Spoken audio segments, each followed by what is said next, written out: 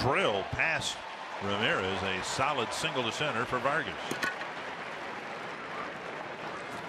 And it'll bring up Nunez.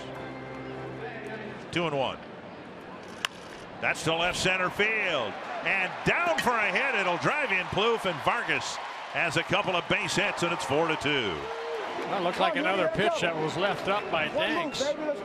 And Vargas picks up an RBI, his 12th of the year.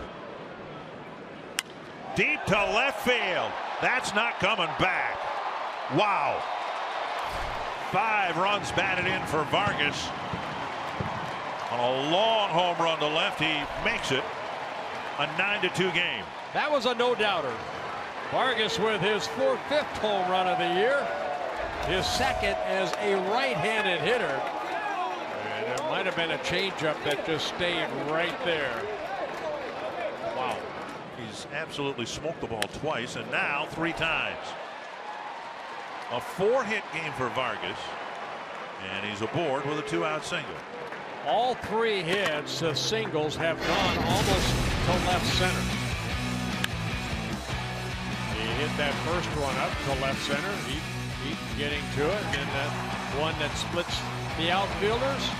And then the home run, the three-run home run that went 425 feet. And then the base hit we just saw right now.